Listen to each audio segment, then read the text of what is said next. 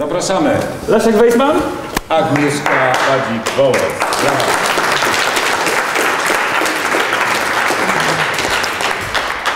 Słuchajcie, na początku pokazaliśmy taki slajd, ale dobrze, jest ciężko, jest niedziela rano po imprezie, więc kto chce, niech się zastanowi nad tym, jakie, jaka jest jego trudność w pisaniu. E, Od tego można zacząć, to jest taki dobry punkt e, zaczepienia, e, dlatego że zaraz przeprowadzimy Was przez pewien proces i na końcu tego procesu może uda Wam się określić, jak te trudności przezwyciężyć. Na początku może jeszcze raz się przedstawimy. Ja podkreślę to, że jesteśmy debiutantami. Słuchajcie, jesteśmy pierwszy raz na konferencji Toastmasters. Pierwszy raz mówimy do tak większej liczby osób. I po raz pierwszy mamy wykład na temat pisania. My na co dzień zajmujemy się warsztatami w kameralnych grupach. Pracujemy z mniejszą liczbą ludzi. No więc jest to dla nas pewne wyzwanie. Klaszczcie, klaszczcie! Ktoś mi powiedział, że właśnie y, często, często tutaj klaszczecie, więc jeżeli coś Wam się szczególnie spodoba, możecie nas wzmocnić na przykład w ten sposób, będzie nam bardzo miło. Jak widać jesteśmy pierwszy raz, to nie wiemy kiedy się klaszcze. Dobrze, teraz przechodząc do sedna. Po co tu tak właściwie jesteśmy? Tak naprawdę będziemy mówić o pisaniu. Wy od dwóch dni uczestniczycie w konferencji, która y, wzmacnia, która Was inspiruje do tego, żeby być lepszymi liderami, przywódcami. Zauważcie, jak dużo e, spraw teraz e, jako menedżerowie, jako pracownicy firm załatwiamy przez maile. Bardzo dużo piszemy, bardzo dużo musimy odpowiadać na różne informacje, które do nas przychodzą. I my jesteśmy tu po to, żeby w tym naszym krótkim wykładzie pokazać Wam, jak można być w tym bardziej skutecznym. Być skutecznym, czyli pisać prosto, pisać jasno i pisać poprawnie gramatycznie. My to sobie ujęliśmy w taką metodę, którą nazwaliśmy 3P. Wiem, że tworzenie nazw jest modne, my też mamy swoją, jest to 3P. I co kryje się za tymi poszczególnymi P? Pierwsze P to jest proces, proces pisania. E, Zależy nam na tym, żeby przejść przez ten etap, bo e, w ogóle mało osób zdaje sobie sprawę z tego, jak ten proces przebiega. A jest to kluczowe, żeby zrozumieć ten proces. Dzięki temu można oszczędzić trochę czasu pisząc coś. Drugie P to jest e, prostota. Mm, I to jest e, rzecz, która jest niesamowicie trudna do osiągnięcia, a tak naprawdę wszyscy jej potrzebujemy coraz bardziej w naszym życiu. Nie tylko w pracy, ale i, i tak na co dzień. Em, o prostocie opowiem ja, o procesie powie Wam Leszek za chwilkę. I trzecia rzecz to jest poprawność gramatyczna. Wiemy, że jest to ciężki temat, nie każdy lubi, ale właśnie poprawność gramatyczna, jak rozmawiamy z ludźmi, to jest rzecz, która buduje zarówno wizerunek nasz osobisty, jak i wizerunek firmy. Więc jest to niesłychanie istotna sprawa. Tych reguł jest w Polskim mnóstwo. My sobie wybraliśmy takie, które naszym zdaniem są najbardziej użyteczne z punktu widzenia biznesu. I jeżeli mówimy o 3P, to gdy rozmawiamy z ludźmi w firmach, w firmach zawsze pojawia się z tyłu takie, takie niewidoczne P, tak wkracza za nami, gdzieś tam z tyłu, za głowami się wyświetla. To są nasze przekonania.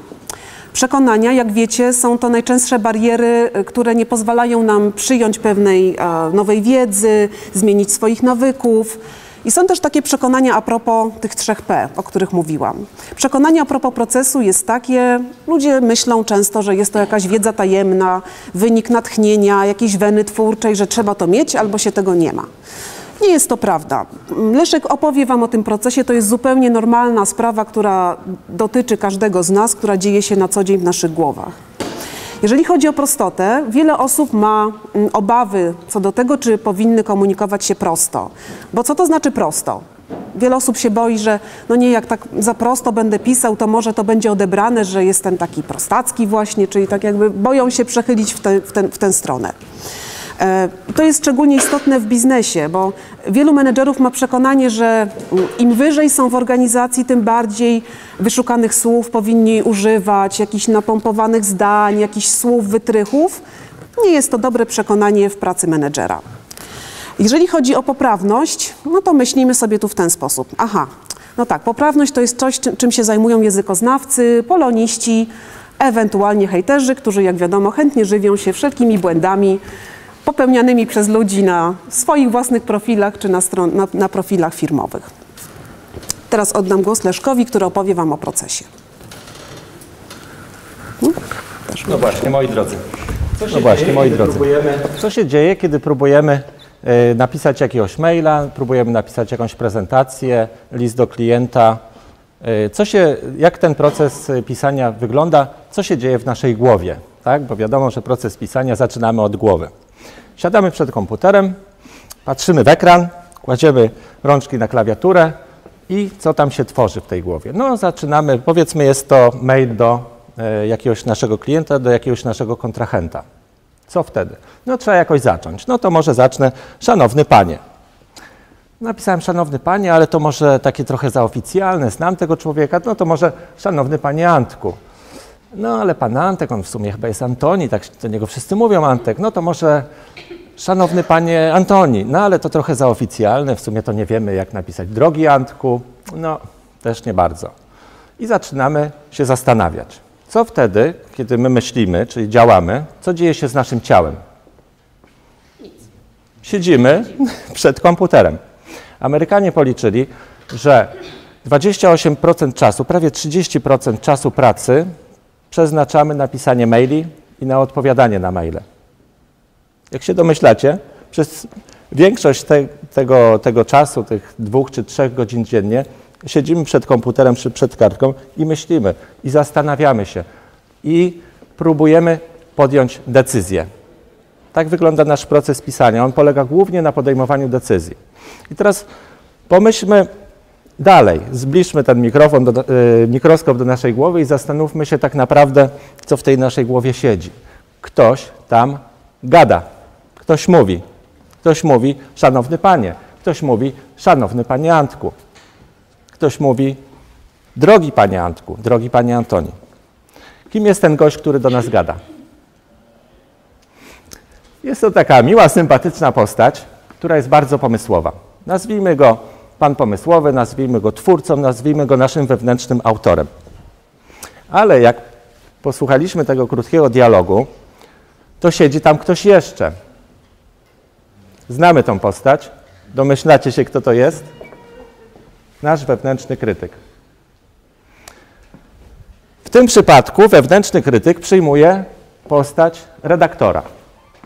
Jak oni ze sobą rozmawiają, a my siedzimy, to tworzy się ten dialog i nie wiemy, co dalej. Czekamy na jakąś decyzję, tak? Co zrobić, żeby tą decyzję y, podjąć? Przede wszystkim sugeruję, żeby tych dwóch gości od siebie odseparować. Żeby oni ze sobą nie rozmawiali, a my żebyśmy zaczęli pracować.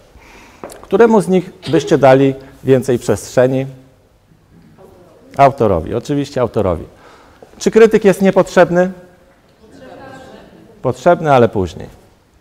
A więc, kiedy następnym razem usiądziecie do napisania maila, prezentacji albo jakiegokolwiek tekstu, który wymaga analitycznego myślenia, proponujemy wyłączyć redaktora, dać, wysłać go na chwilkę e, na urlop. My siadamy i to, co słyszymy w naszej głowie, te pierwsze słowa, te, no dobrze, szanowny panie, piszę do pana w sprawie naszej nowej oferty. Pamięta pan, rozmawialiśmy ostatnio na ten temat, był pan zainteresowany, dlatego wysyłam tego maila.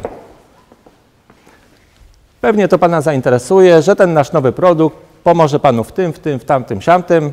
Czekam na odpowiedź, jestem do dyspozycji. Do widzenia, pozdrawiam. Voilà, mamy napisanego maila.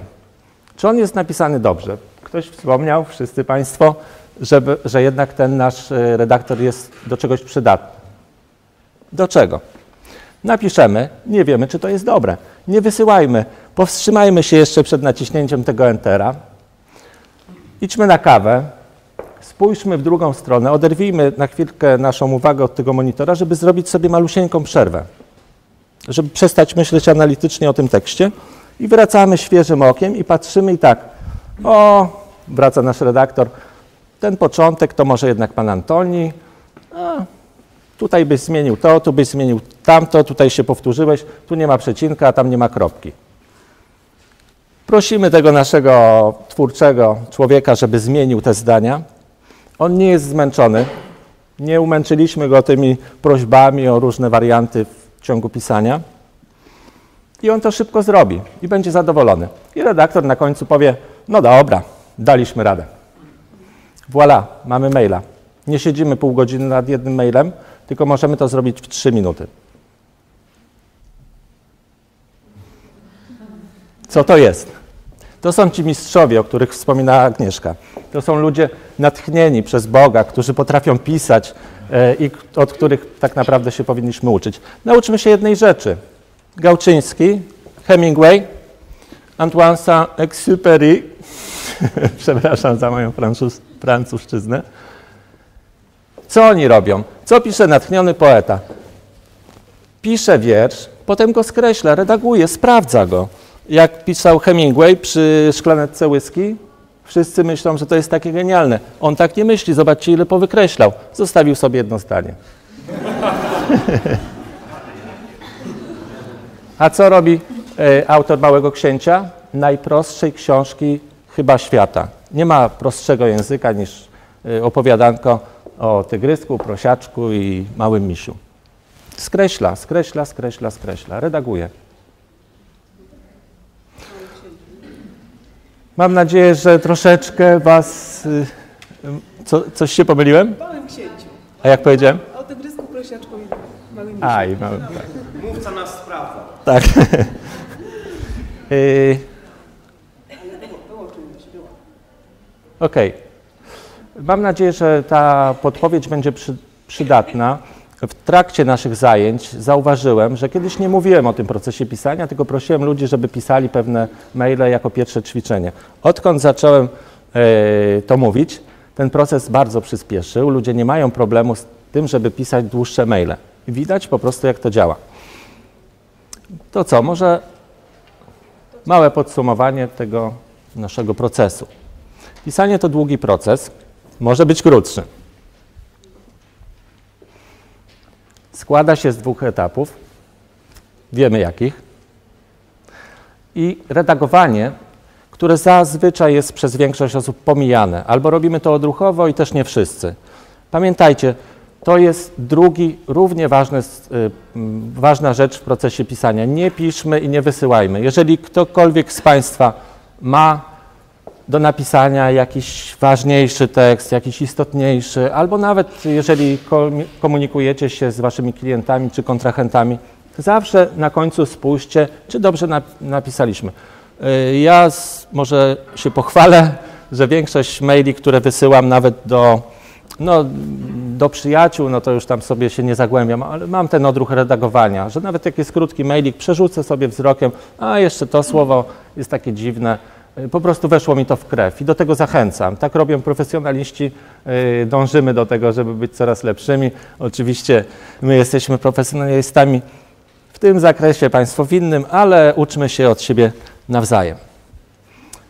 Na ważny tekst potrzebujesz kilku dni, co najmniej dwóch. Agnieszka nam może powie, co to jest ważny tekst. No na przykład, co to może być? E, Nie wiem, w firmie wniosek do zarządu o jakieś zasoby na, na ważny projekt albo informacje o projekcie, mnóstwo się tego pisze, tak? Podsumowuje się projekty, jakieś cele się w związku z tym Czasami osiąga. są e, maile, czy czasami są listy, czasami są prezentacje, od których zależy nasza firma, zależy nasza kariera. Bardzo często tak jest, że jeden mail potrafi zepsuć mnóstwo naszej ciężkiej pracy. Dajmy sobie szansę, zaczniemy go pisać dzień wcześniej, dwa dni wcześniej, może tym sposobem, wróćmy, zredagujmy, wróćmy, zredagujmy i będziemy mieli dobrą ofertę handlową. Wiemy, że to jest problem dla firm, bo zawsze jak o tym mówimy, to jest tak, reakcja jest taka, Boże, ale my nie mamy tyle czasu, to trzeba natychmiast robić, już odhaczyć zadanie z listy. Zgadza się, czasu jest mało, ale to jest kwestia jakby zmiany pewnego myślenia o tym procesie pisania i zaplanowania go sobie troszeczkę, w troszeczkę inny sposób, tak? Albo nawet tak jak mówi Leszek, jeżeli czasu jest mało, wystarczy wyjść na chwilę z pokoju, nie wiem, przejść się, pogadać z kimś, nawet poprosić kogoś, żeby rzucił okiem na ten tekst i to już pomaga. Także są też małe metody, które mogą tu pomóc. Dobrze, e, przejdźmy dalej. Druga część tego naszego, naszej metody 3P. To, pro, e, to... Tak. Przetestowania. Jeżeli chcecie, czy chcecie teraz, Tak, właśnie. Zachęcamy do tego, żebyśmy teraz spróbowali w praktyce sprawdzić tą metodę. Yy, Macie chyba kartki, wszyscy tak, od organizatorów. Jeżeli nie ma, to my mamy puste kartki, mamy długopisy. Niech każdy z Was napisze yy, taki krótki list zaczynający się od słów Cześć, jestem na warsztatach Toastmasters, lekcji pisania. Właśnie dowiedziałem się, że... Kto nie ma kartki? Oczywiście spróbujmy wyłączyć redaktora, piszmy po prostu nasze pierwsze wrażenia. Na przykład właśnie dowiedziałem się, że są ludzie, którzy nie potrafią pisać, e, mówić prezentacji. Teraz przejdziemy do prostoty, do następnej części naszego 3P. E, I zastanówmy się, po co właściwie piszemy, po co my piszemy różne komunikaty. Piszemy dlatego, że mamy w tym pewien cel. Chcemy tak naprawdę przekonać ludzi do pewnego sposobu myślenia albo do działania. Działania to nawet częściej w pracy menedżera. I teraz jakbyśmy spojrzeli na taki krótki przykład tekstu, to jest tekst nie biznesowy, ale taki, z którym można się często spotkać w codzienności. Jakbyście mogli chwilkę go przeczytać, przez chwilkę.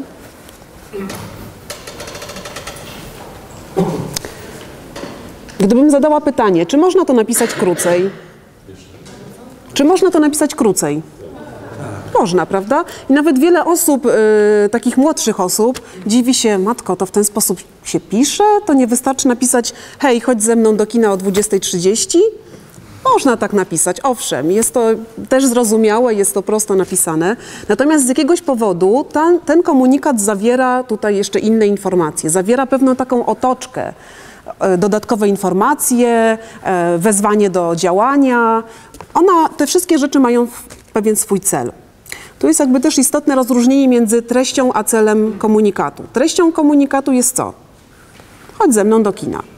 Natomiast celem komunikatu, cel jest troszeczkę większy. Moglibyśmy się e, domyślać, że chodzi o to, żeby z tą osobą nawiązać jakieś bliższe relacje, może bardziej długoterminowe, bo widać to chociażby.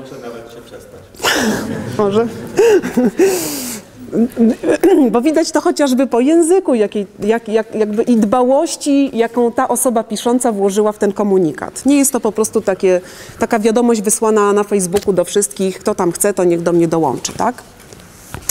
I tak samo jest w biznesie. E, Jeżeli coś piszemy, to mm, dobrze by było przyjąć sobie pewien, pewną prostotę. Mm, I mamy tu na myśli nie tylko upraszczanie zdań, upraszczanie słów, ale przyjęcie pewnych takich schematów komunikacyjnych, pewnych uproszczonych schematów. E, Takim schematem jest coś, co proponujemy, do czego zachęcamy, przede wszystkim na początku zastanowienie się, ja bym powiedziała najpierw po pierwsze, czy w ogóle warto pisać tego maila, czy ten komunikat, bo czasami jest tak, że pewne rzeczy można załatwić w inny sposób, omawiając to, niż pisząc do N osób, co jest częstą praktyką w firmach. Więc, ale jeżeli już jesteśmy przekonani, że tak, ten komunikat warto napisać i przez to osiągniemy swój cel, to zastanówmy się po pierwsze, o co mi chodzi. O co mi chodzi? I dobrze by było nie tylko zastanowić się i mieć tę myśl gdzieś w głowie, jako myśl abstrakcyjną, ale zapisać to na papierze. Właśnie wziąć kartkę, długopis, czarno na białym skonkretyzować ten jeden główny komunikat, który chcemy przekazać. I dopiero wokół tego komunikatu budować pewną otoczkę, otoczkę związaną z informacjami dodatkowymi, z argumentami, bo przez swoje komunikaty chcemy te osoby odbiorców chcemy tak naprawdę albo nakłonić do sposobu, pewnego sposobu myślenia, albo do pewnego sposobu działania. I na koniec to, co jest istotne, a co czasami ludziom umyka, szczególnie w takich dłuższych tekstach, rozbudowanych mailach, na przykład jak się pisze o projekcie i tam trzeba dużo informacji zawrzeć w środku, że stało się to, to i to, miało taki wpływ na to i na to. Czasami zapominamy o tym, że tak naprawdę chcemy też, żeby odbiorca komunikatu coś zrobił, czyli tak zwany nasz call to action, tak? Zrób to, trzeba zrobić to, oczekuję tego. Y, To powinno być zawsze zawarte na samym końcu. Dlatego nie, nie wciskajmy tego gdzieś na początku, nie dawajmy tego w środku, bo to się gdzieś rozmyje w całej ilości informacji. Natomiast jeżeli będzie to na końcu podane w taki prosty sposób, też w jednym czy dwóch zdaniach, to skuteczność tego komunikatu będzie naprawdę wyższa. E, To jest jedna ze struktur, którą można stosować, bardziej taka struktura myślowa. Bo generalnie zanim się zacznie pisać, to jednak trzeba chwilę pomyśleć. To nie jest tak, że siadamy i od razu zapisujemy. Inną strukturą, która się sprawdza, to jest rzecz y, wzięta z, tak naprawdę z komunikacji marketingowej. Reklamy mniej albo bardziej kreatywne są konstruowane na bazie pewnego schematu. Tak? Mówimy o jest jakiś główny komunikat, na przykład wchodzi produkt na rynek, opisujemy go językiem korzyści, oczywiście korzyści odbiorcy, nie naszych, e, po czym, tak powinno być przynajmniej, e, po czym na końcu mamy jakiś call to action, tak, nie wiem, idź, sprawdź, kup, zobacz i tak dalej. I ta struktura, warto czasami pomyśleć o spisaniu swoich komunikatów też w taki bardziej marketingowy sposób. E, Dlaczego? Dlatego, że my de facto dużą, duża część naszej pracy, to jest taka rzecz, którą kiedyś usłyszałam i która mi się bardzo spodobała, tak naprawdę duża część naszej pracy to jest sprzedawanie naszych własnych idei, sprzedawanie naszych myśli i tak naprawdę my jesteśmy, każdy z nas jest sprzedawcą.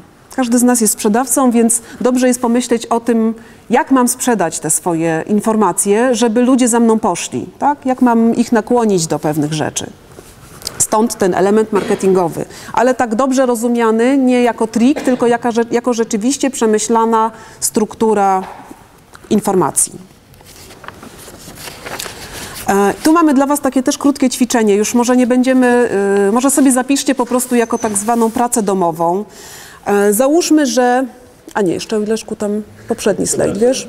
Załóżmy, że y, jesteście szefem zespołu, każdy z Was jest szefem zespołu, zespół dostał nagrodę i teraz chcecie poinformować o tym y, inne osoby w firmie. E, Treść jest jedna. Treść, treścią jest tak naprawdę to, że zespół zdobył nagrodę. Natomiast cel wiadomości może być różny. W zależności od tego, czy ja jako menedżer będę chciała pokazać, że zespół się wyróżnił, e, albo w zależności od tego, czy będę chciała docenić wkład innych osób w, w pracę projektową, e, te komunikaty mogą brzmieć różnie. Język będzie różny, inne będą argumenty, więc dobrze jest też zastanowić się to, co wspominałam wcześniej, treść, a cel informacji żeby informacje, które piszemy, były pisane z określonym celem, żeby nie były tylko przekazywaniem zwykłej treści, ale miały służyć temu, co rzeczywiście chcecie osiągnąć. Także do tego zachęcamy, żeby przysiąść na chwilę i zastanowić się nad tym i stworzyć sobie taki, nawet popróbować stworzyć sobie różne cele i w zależności od tego y, różnie to napisać. Gdybyśmy sobie przypomnieli tego maila, e, tego maila od Franka, który był przed chwilą, to celem wiadomo, treścią tego maila jest pójście do kina, natomiast cel e, tutaj już omówiliśmy w dwóch słowach. Agnieszka jest od spraw prostych, od upraszczania, ja jestem od spraw trudnych, czyli rozumienia procesu pisania i od gramatyki. Gramatyka to jest coś, czym się, co nam się kojarzy ze szkołą podstawową, aczkolwiek bardzo często e, też musimy się zastanawiać, co postawić na końcu wypunktowania, w jaki sposób zapisać datę, w jaki sposób zapisać zakres od poniedziałku do piątku, e, co postawić po szanowny panie, a czy przed, na końcu stawiamy kropkę po naszym imieniu albo po słowach pozdrawia, pozdrawiam serdecznie, czy po słowach pozdrowienia, czy tam mamy postawić kropkę, wykrzyknik, przecinek, czy może nie stawiać nic. Tym się za chwilkę zajmiemy. Mamy dla Państwa kilka porad gramatycznych. Tak naprawdę nie przerażajmy się gramatyką urzędową, naszą gramatyką e, biurową, ponieważ ona nie jest taka trudna, ponieważ te sytuacje cały czas się powtarzają. Agnieszka zaczęła rozdawać dyktando, a ja już mówię o co chodzi. Słuchajcie, ten test nie jest trudny i większość, yy, pocieszę Was, większość rzeczy, które tam zrobicie, pewnie zrobicie dobrze. Mamy trzy minuty. Mam nadzieję, że ten test nie był trudny. Jak wrażenia? Się okaże. Yy, nie bójcie się, nikt tego nie będzie sprawdzał. Każdy sobie go sprawdzi sam. Zasadami interpunkcyjnymi w języku polskim jest niestety tak, że one nie wszystkie są ustalone. Za chwilę omówimy początek tego y, listu. szansę, żebyśmy się dowiedzieli, jak jest naprawdę. Tak, tak, tak, właśnie teraz będę to omawiał. Ale dziękuję za to pytanie. Z zasadami przystankowymi e, te reguły są jasne, natomiast niektóre rzeczy, takie jak na przykład wypunktowania, o których za chwilkę będę mówił, nie są tak naprawdę przez językoznawców ustalone. Nie mamy takiego kanonu, który jest obowiązkowy. Ale większość tych rzeczy, które za chwilę e, się, się dowiemy, e, są przez nas wielokrotnie sprawdzone i u językoznawców, i w, w słownikach jest e, internetowa poradnia językowa. Wszędzie tam szukaliśmy e, inspiracji, żeby e, dać tutaj dobre odpowiedzi. I tak jak mówię, czasami są one sprzeczne, co świadczy tylko o tym, jak polski jest skomplikowany i też daje nam pewną swobodę, pewną dowolność. Ale zacznijmy najpierw od początku, czyli czy poszanowny, szanowni Państwo stawiamy w tym przypadku przecinek, wykrzyknik, kropkę czy nic? Kto? Przecinek. Bardzo dobrze. A dlaczego? Bo zaczęliśmy z małej litery. W języku polskim możemy zrobić dwie rzeczy, poszanowni Państwo. Postawić przecinek, tak jak zrobiliśmy, wtedy zaczynamy od małej litery, albo postawić wykrzyknik i wtedy zaczynamy z wielkiej litery. Z wielkiej litery, z dużej litery można mówić tak albo tak. Począteczek mamy, widzę, perfekcyjnie zrobiony. Co z wypunktowaniem? Yy, jak zacząć wypunktowania? Pamiętajmy, że wyliczenia są bardzo pomocne w tekście i że wyliczenia zazwyczaj wszyscy stosujecie e, w slajdach, prawda? Chyba nie ma osoby, która by nie zrobiła slajdów w punktach. E, najczęściej co jest stosowane? Kto stosuje bulety, takie kropki? Dużo osób. A kto takie małe myślniki? Też sporo osób. no właśnie. Jedynka, dwójka też. Słuchajcie, tych możliwości jest sporo i wszystkie one są właściwie dobre. Czyli tak, możemy postawić albo taką literkę, a z nawiasem i tu sobie pisać dalej od małej literki. Możemy, najważniejsza sprawa, nie stawiamy tu żadnych kropek, tylko jest małe a i nawias. Możemy postawić jedyneczkę bez kropek i dalej sobie pisać dwójeczkę, dalej, dalej sobie piszemy. Jeżeli postawimy jedynkę z kropką, to tutaj dużą, duża.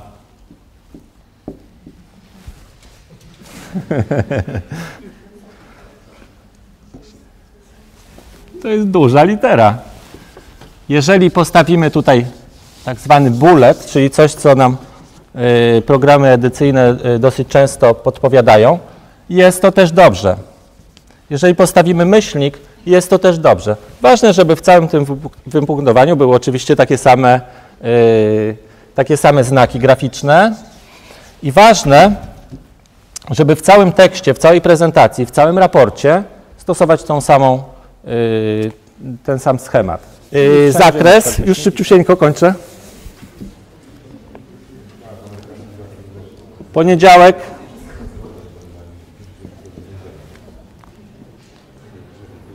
Poniedziałek, piątek, dziewiąta, piętnaście, dziewiętnasta.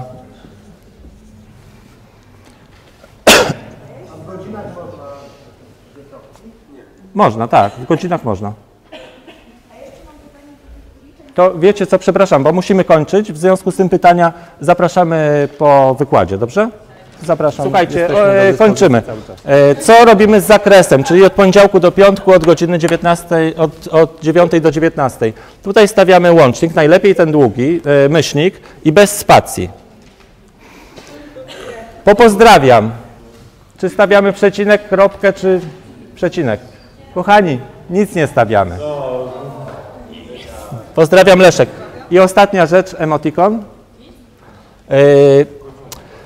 Po emotikonie powinniśmy postawić kropkę według zasad językowych. I tak radzą językoznawcy, ale inni języ- językoznawcy, na przykład pan profesor Mirosław Bańko z Uniwersytetu Warszawskiego, radzi w poradni językowej, że to po prostu głupio wygląda, bo to nam się z tego robi buźka i tu jest jakaś kropka. Tak. I żeby nie stawiać, ze względów estetycznych. Yy, kończymy? Ale to nie jest pytanie. Tak? Tak? E, Ja mam prośbę, w związku z tym, że nie zrobiliśmy całego tekstu, czy jest możliwość, że y, albo prześlesz nam, jak powinno być poprawnie wzór, albo my, że tak powiem... Tak, oczywiście, tak, tak, tak. To jeśli tak, to na jakiego maila mamy napisać? Na info? Info, lekcja pisania. PL. Bardzo prosimy o e-maile. Y, Wyślemy Państwu też y, e-booka z poradami, wyślemy to rozwiązane. Jesteśmy też na fej- Facebooku.